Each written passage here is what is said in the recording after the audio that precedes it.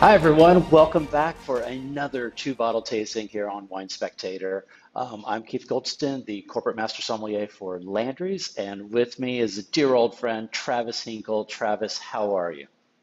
I'm doing great, Keith, and I am so excited today to talk Tuscany. How about you? Hell yes. Um, I think we both have always had kind of a strong affection and love for the uh, wines of Tuscany and particularly Chianti Classico, where we're going to spend some time today. And, you know, and just because, you know, you- are on the move so much now, like, what's the official title for my advanced sommelier friend, Travis Hinkle, who is kind of the man behind all of the magic at Del Frisco's? But, uh, you know, wh- wh- where are you now? What's up? I am. Uh, I, am joining you from Philadelphia today, where I'm at our gorgeous uh, Double Eagle uh, Steakhouse here in Philadelphia. Um, I'm currently serving as the corporate beverage manager for for Del Frisco's uh, as part of the Landry's team. So very excited to be uh, to be working with a great set of wine directors and some really fantastic wine programs around the country too. Absolutely. Um, and, you know, when we were working together, it was one of those things that when we were putting together the grand award list for the Post Oak Hotel, it was just like I, I knew we were going to work well together because we got to the Italy thing, and it was like more Chianti, more Chianti. Like let's keep buying more Chianti. So, what is it that kind of helped you fall in love with the region and the wines there? Oh my gosh, Keith, I could wax poetic for a long time. I absolutely love Chianti, um, and Chianti for me is one of those regions where it's it's it's like a, uh, a desert island red wine in a lot of ways. It's it's an area that is um, not enormous, but it's large enough and uh, has enough diversity to always be interesting. It's also one of those red wines that I think more than anything else, I put my nose in the glass and it makes me hungry. So there's wonderful nuance, um, but it never takes itself too seriously, and it just marries so beautifully with food that uh, for that reason, it's uh, it's it's always been one of my favorite wines. And even from um, it's got a great range from the top to the bottom. So there are, of course, those superstar, expensive, rare examples, and those are wonderful. But there's also just absolutely delicious red wine that's at a very accessible price point, and then everything in between. And so for that reason, I think it's um, it's it's a wine that uh, that people should enjoy more often, and for really any kind of occasion. Travis, I am so happy that you brought up the diversity because that's one of the things I love the most about Chianti's is, you know, when I'm going and looking at wine, just inherently I think about with food or time of day. And I love that there are those lunch Chiantis and then there's the dinner Chiantis, you know, or the appetizer yep. or the entree. And there's just something about the reliability and consistency and then the just unbelievable value. Because I find that no matter where you're at in that range, if it is that kind of just Chianti, Chianti Classico, every day, I don't care if I finish the whole bottle, though I usually do. Um, the price point there is for what's in the bottle is incredible. And then if you go all the way up to this, like this, particularly the new like Grand Selezione, which we'll talk about later and actually get to try, I mean, you can put those up against the best wines of the world, and they're a fraction of the price. I mean, it's just completely underrated. I still don't know how it seems kind of like an undiscovered wine region, but it's just to me fascinating, and um, I just love that we still have so much diversity to enjoy and taste. Yeah, well, and it's a wine that I, I think it, it, people think they know it well until they really dive in and, and just discover how how deep the rabbit hole go uh, goes. I mean, for example, so Chianti itself, right? Chianti um, is a fairly large DOCG, so one of the top regions within Tuscany in Italy. But as you zoom in closer, you get into the original Chianti Classico uh, zone, uh, which itself is, a, is another DOCG within the larger Chianti region. And then if you start looking at, uh, at the history, there are select uh, kind of communes and municipalities within the, uh, the uh, Chianti Classico zone today that represent kind of a more historic home for what was considered the heart of Chianti. And we're really privileged today to taste one of these uh, from with uh, Castello di Albola's uh, Radda in Chianti, uh, both Chianti Classico and their Gran Selezione, which we'll jump into. Yeah, and that for me was always kind of one of those like kind of hacks or cheat codes you could do as a consumer is when you're in Italy, whenever you see Classico, amend it to the name, it usually is the heart of the area, the region. It's yep. like the oldest vineyards. And it was just one of those things that if you're looking at something with it or without it, spend the extra little bit of dollars to get the Classico because it's usually over delivers, you know, compared to the regular one. Um, but I think uh, since we are going to start diving into the wines and go a little bit more into the region, I guess just one last topic is what are your thoughts on Sangiovese? Because we can't really talk about the region without talking about this unbelievable grape. And uh, what are your thoughts? How how would you you know sell us on Sangiovese? Sangiovese again is just one of these amazing grape varieties that again um, is it, the the only way to describe it, it is the red grape uh, to make food friendly wines, I guess. And so Chianti Classico always made from a majority of Sangiovese. You do have some other grape varieties that can contribute really interesting things to the blend. But for your the kind of most pure expression of, of Chianti, um, I'm looking for high proportions of Sangiovese. And for me, Sangiovese is, um, I don't know, it has this uh, wonderful elegance and a kind of rustic characteristic to it. So it's notes of sour cherry, wonderful savory notes of um, of a sun-dried tomato and uh, and herbs. Um, and it has this wonderful kind of structure to it. It's this great mouth-watering acidity that makes it so good with food, and it really has a firm tannic backbone too um, that can make it wonderful for laying down in the cellar and enjoying over over many years. So um, it's one of these just magical grape varieties that for me has a lot of distinct sort of flavors and gets everything right to being able to enjoy uh, young, like the ones we're enjoying today, or over the long haul. Yeah, and you know, I definitely concur with almost everything you just said there. Great way to describe it. But also too, I just I love that it's got kind of the richness and boldness of Cabernet Sauvignon, but kind of that Yep. sexy allure, elegance that I associate with Pinot Noir. I mean, the flavor profile is totally different, but structurally it kind of fits between the two, and it's just a really cool, unique grape. And there is, and I'll, I will go full on just all in. There is no better place in the world to grow Sangiovese than Tuscany. You know, I've tried it in a lot of other places all over the world, and there's just something about the right space and the terroir, the weather, whatever you want to call it, the soils, the so whatever it is, there's just something magical about Sangiovese and Tuscany, and it is a perfect pairing. So, you know, I just thrilled to have it, and kind of like that desert island wine. If I had to pick maybe one grape, quite quite possibly could be Sangiovese. So I, I know we've got a great guest with us today. So uh, you, is, you, is it time to bring in Francesco? Is there anything that you'd like to add before we get rolling into these wines? No, I, I think it's time. I'm really excited to learn from Francesco today. So, uh, without uh, further ado, Francesco Zonin, thank you so much for joining us to talk about the beautiful wines of Castello di Albola. Thank you, Travis, and thank you, Keith. It's a pleasure to be here. I've been listening Yeah. a lot, and I agree with uh, everything you said so far, especially on uh, on Sangiovese and how amazingly, basically, it grows in Tuscany, and for some, you know, unknown reason, it it, it, it it's hard to you know make amazing wine outside of the region. So, Francesco, I mean, your family has an amazing presence in Italy and have been doing it for for centuries. Um, can you give us a kind of quick rundown of how we ended up with you and this these amazing wines from Tuscany? Uh, we actually turned 200 years old uh, last year. I'm a seventh generation, and uh, we're actually going to celebrate more this year uh, for obvious reason. But you know, I was born and raised in uh, the Venetian area, and then my family uh, bought different wineries throughout Italy, with uh, seven now, and one in uh, in in Virginia called Barboursville Vineyards, and then one in Chile lately.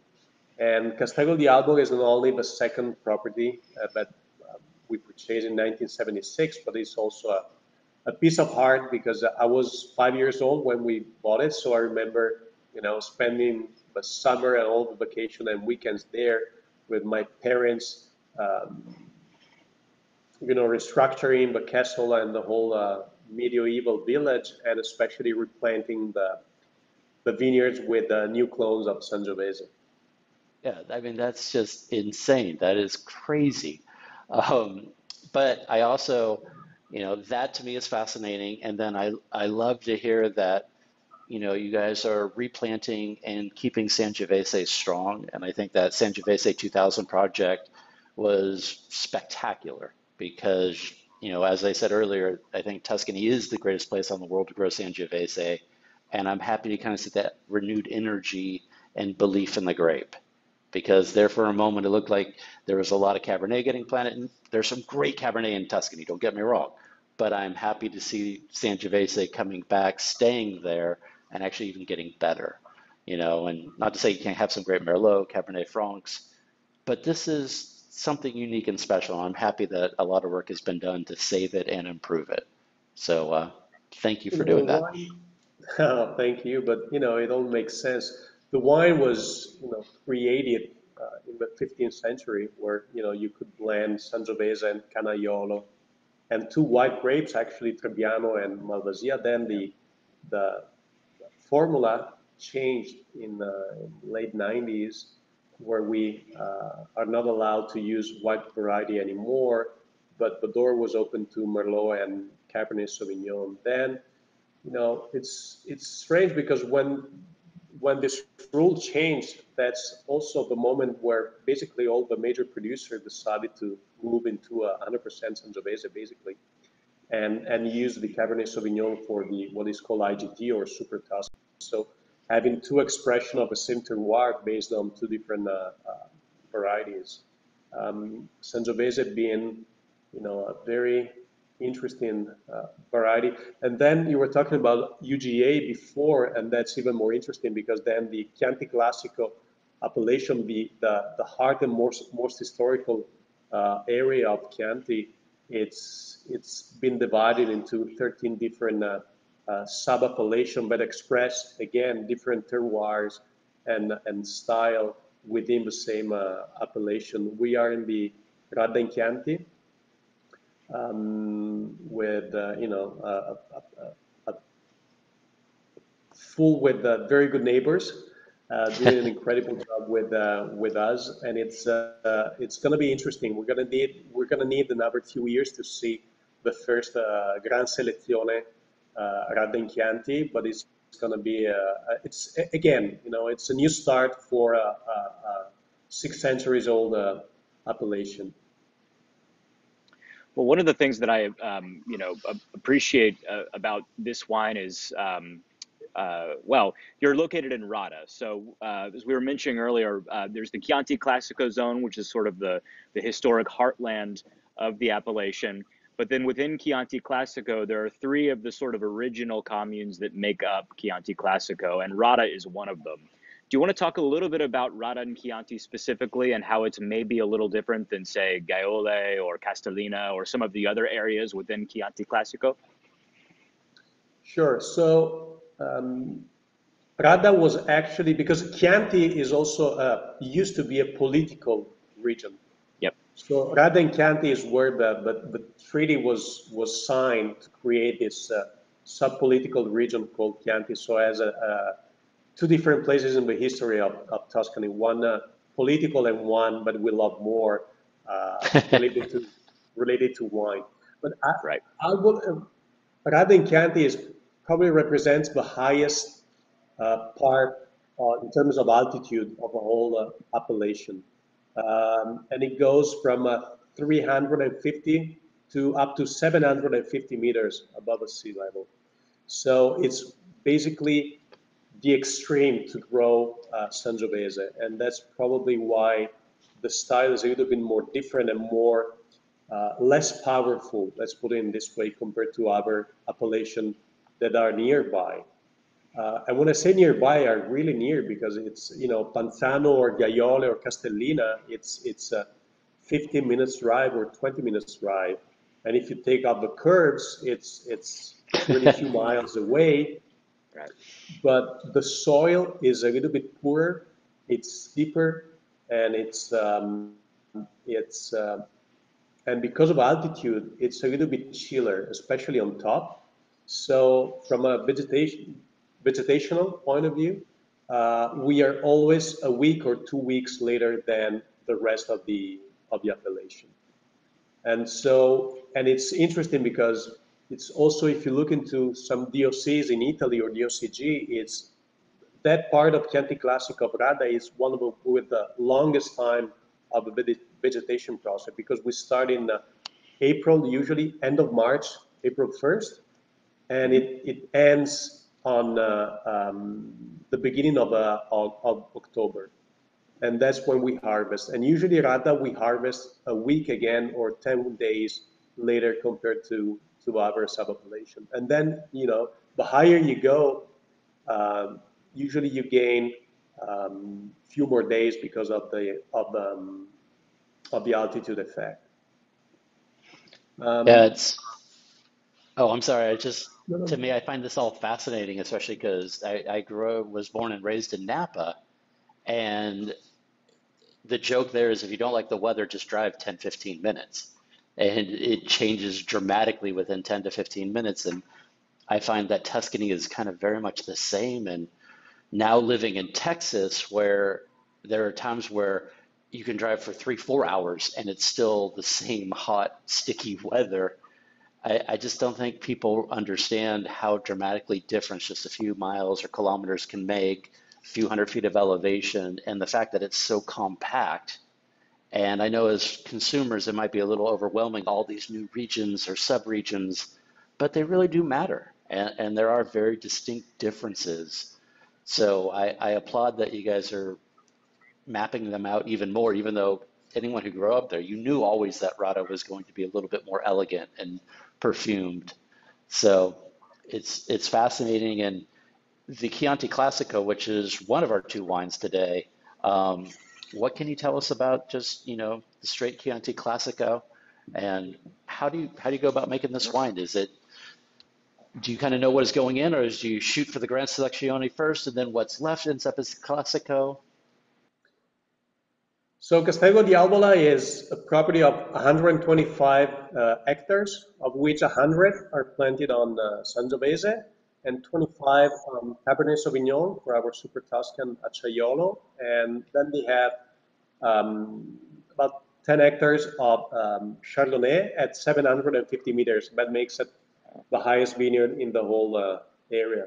But going back to the Sangiovese, we selected three different vineyards called Santa Caterina, Il Solatio, and Marangole, and those are a single vineyard to produce Gran Selezione. So that's dedicated to that. Solatio is not even an hectare, and uh, Santa Caterina is a five hectare um, vineyard as well as the Marangole. And then the rest of the property is um, selected for um, Chianti Classico and Chianti Classico Riserva. So Riserva doesn't have a specific vineyard, even though in the last 10, 15 years, we tend to use more or less the same vineyards, but it's a selection of the best uh, vineyard according to the single uh, vintage. And, um, and Chianti Classico is basically a blend that we do from the, the, the different vineyards from uh, from the property. And it's because uh, the property is it, it, stretches from the bottom of Radda Chianti up to the top of the hill of uh, Castello di Albola, which is 650 uh, meters. So Santa Caterina, for example, it's at 550, whereas Solatio is 600, 620, and Marangole is 450. So as I said before, um, our approach is basically on Sangiovese, 100%. Um, as I said, we're a little bit late compared to the average of the region, so we keep uh, beginning middle of October.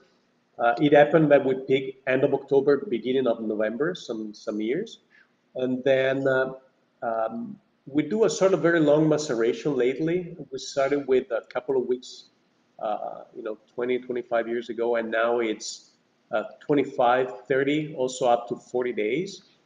Um, we have more maceration and less uh, repumping. So we tend to not not to touch the grapes uh, much and to leave it uh, to leave it there. Um, one of the interesting things of Radda Chianti and Castello di Albola in particular is the tannins. So um, we try to pick when the grape is very ripe and that allow us because of the soil that is is richer in uh, in Galestro and Alberese compared to other areas so it's very poor but the tannins become very elegant very silky and almost sweet. On the other side, because of the of the soil being very poor and the altitude, you get a lot of acidity. And that what makes the style of Radda a little bit unique because you have silky tannins and a lot of acidity. And when you put together, you get a very drinkable wine.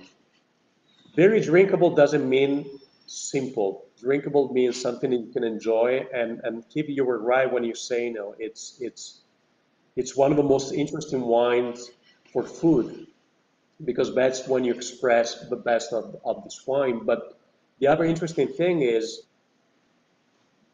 I was in a two-star Michelin restaurant uh, five days ago, and we popped a bottle of Chianti Classico Castello di Albola 1987. Wow. And the wine was unbelievable because it, you know, from the color, it looked like a 2007. So then all this acidity really helps uh, aging the wine for so long. Another reserve or a special selection was a plain Chianti Classico. On the other side, um, you know, because of this loaded up of sweet tannins, the wine is very enjoyable even even uh, right now. And the other thing on on on Chianti Classico that we change a lot, we move a little bit the aging from a, a typical uh, 60 hectoliters um, oak cask um, into, let's say, a variety of different casks going from 64, 45, 34 hectoliters, and then we use uh, 500 liters of uh, tonneau. Now I'm sorry because I'm going through hectares and, and, and liters. And um, I'm not very good at doing the math uh, right now, but it's it's basically twice the size of an average uh, barrique from uh, from Bordeaux, just to give you an, um, an idea. So Uh, we use a you 10 you don't need to apologize. That's uh, Correct. you know, we, we tried metric system a while ago, but you know, the U.S. and Belize, we got to hold on. You know, but It's I fine. digress. Maybe As long someday as we'll all be understand each speaking. other, it's fine. Exactly. So we Um, use a 10 15% of the, of the small wood on the Chianti Classico, whereas Santa, Santa Caterina, we use up to 50% of, of the smaller wood of the, of the Then the aging is very similar, about a year. And that's when the difference starts also for Santa Caterina, because after the bottling, then we leave the wine cork and a label for a week, standing for the cork to adapt and then we place it um, laying down for another year, and that's where the tannins really start to, to define themselves and to make it a very unique style. Yeah, and so for our uh, for our you know our, our viewers, this Gran Selezione uh, designation, which they'll encounter on some bottles, it basically stipulates a little bit more Sangiovese at minimum, but also this is a wine that has been aged, and so for um, for people who love uh, Brunello di Montalcino, something like a Chianti Classico Gran Selezione will uh, will often appeal to that same kind of palate. Would you agree? Absolutely. It's, um, you know, first of all, the rules are, are stricter. So Yep. it doesn't apply to our uh, winery, to Casteggio di Alba, because we don't source any grape outside of the property. So we are independent. But technically, Gran Selezione, you can only produce with grapes from your own property. So you cannot source anything from outside. And then if you age the Chianti Classico for a year, then Gran Selezione you would age for twice as much. So usually even the yield per hectare. Uh, so the, by law, you're allowed to produce 7.5 tons per hectare in Chianti Classico. In Castello di Albola, our average is 6.5 because the, the soil is very poor, and we try to concentrate uh, the, the, the, the grapes. On uh, Santa Caterina or Solatio, we go as low as uh, 4 or 4.5 uh, tons per hectare. So that's when you get most of the concentration. So everything gets concentrated, um, sugar, but even the tannins and you know the anthocyani, the colors, and everything else. So it's it's a very similar in style, even though the body, the texture, and the potential of the wine is is really different. And I would compare it more with uh, with Montalcino. Absolutely. Yeah, it's it's funny. I have both of them poured side by side right here, and the Chianti Classico is absolutely delicious. And you know, for me, it's just the lead note is just this really just beautiful, pure cherry, and then it gets on the palate and it's cherry once again, and then it gets a little kind of herbaceous in a good way, and it's just it it's really approachable and just crushable. Like I could drink a lot of it really fast. Um, and then I get to the Santa Caterina, and it's just so much more herbaceous and savory, and just and then you get it on the palate, and it's just the umami kind of richness of it. Like it's got a lot of a long story to tell, and it's going to take a while to kind of open up and share that with you. It's kind of like when you know you sat down with like a you know one of your elders and they start to talk and you're like okay i'm going to pull up a chair because you've got some cool stories to tell and i kind of feel like that with the santa cantarita that is just it's like it's really good right now but it is just beginning its life and it's fascinating just seeing side by side how different they are but i mean they're both delicious but two completely different styles Yep. Absolutely. And then, you know, Santa Caterina is a 2015, so it was a very uh, interesting vintage for us, even more than 2016 because it was a little bit of a warmer vintage compared to the 15, to the 16. But because of Castello di Albo and because of the altitude, we were a little bit chillier than the rest of the of the area. So the 15 was really a, a benchmark vintage vintage for uh, for us. And then the other beautiful thing of Castello di Albo is, you know, if you if you manage to leave the wine in the glass for a while, then you know the wine itself is going to tell you uh, a, a long story because it, it keeps changing and evolving for hours. One of the things I love to do when I pop a bottle of, of Castello di Albola is, you know, keep it on the table, and that would become my dessert wine or my my conversational wine because you know you leave it there and you taste it every five or ten minutes, and it's like you know tasting three, four uh, different wines. But it, that's the beauty of you know of Tuscany. It's like you know uh, reading a, a, long story that started centuries ago, and then you know you, you discover it a little bit at a time on in uh, in the glass. And the only thing I'm sorry about, but probably and hopefully technology will help is I would love for you and and you know and and and consumer to take a look at Castello di Albo because then probably we do we did a lot of talking, but the you know, once you realize where Castello di Albola is, you know, this beautiful medieval village overlooking the whole Chianti Classico area, because we have Monte San Michele in our back, which is the highest mountain in the Chianti Classico, and then you know you have Castello di Albola. So you overlook the whole Chianti Classico area all the way up to Siena. So it's uh, in a beautiful day, then you understand why why I feel so lucky every day I go there. And, you know, we try to put a little bit of that piece of paradise in the in the bottle. Well, it's such a magical part of the world, and I've been fortunate to, to go through uh, a couple of times, and and every uh, every time I wonder why uh, why I don't uproot and, and, and try to move in. But there's something just so special. And every time I pour myself a glass of Chianti, it just smell takes you back to that place and it just smells like Italy to me. And of course, Italy is so diverse and that's a different story. But for me, uh, Tuscany kind of epitomizes uh, the height of uh, at least red Italian wine. And so um, uh, it, has been a pleasure to taste these today as well. It's my pleasure. Yeah, I,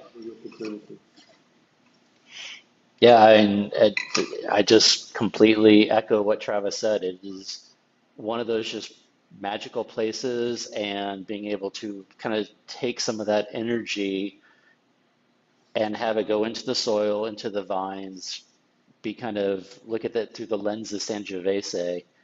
It's that to me is part of what makes wine so magical. This ability to transport you to a place, and I I love that both of these wines absolutely do that um, and even particularly to like your little small little part of Chianti Classico and Radda, that it takes you there. And thank you for keeping those traditions and focusing the making it more refined and sharing it with all of us because these are beautiful wines and you know, whether you want one to enjoy right now or possibly a long time, as it sounds like the Chianti Classico will age quite well also, you know, or if you want something truly special that, you know, I think, in my opinion, I'd rather drink this than 99% of most of the Brunello di Montalcinos, and it'll probably be a little bit more affordable than a lot of the Brunello di Montalcinos. And it's just not as hot. It's there's elegance. There's it's. I'm sorry. I'm going on a going on a rant. I'm going to stop myself. But uh, these wines are amazing. So, Francesco, thank you for sharing them with us. And, um, you know, I look forward to maybe someday tasting with you there in Chianti, or, you know, maybe we meet in the middle and we go to Barboursville and uh, drink some of the delicious Vermentino there or the Nebbiolo there in uh, Virginia, because, you know, that's maybe a little bit easier. It's just meet in the middle. Absolutely. We, we actually planted some Sangiovese in Barboursville as well. But, you know, we managed, because the winemaker is from Langhe, from Alba, uh, Luca, so we managed to produce a, a very interesting Nebbiolo, but Sangiovese, even for an Italian outside of Tuscany, is a big challenge, very big. I imagine. Uh, Yeah. but it makes all sense. So thank you, Kit, for everything. I love to, you know, meet in Italy or Barboursville and, and Trevis. Thank you very much. Absolutely. Well, our pleasure. Francesco, uh, Francesco, thank you so much. Uh, cheers to you. Yeah. Beautiful wine. Cheers. Thank you. Viva to Albol and to Sangiovese.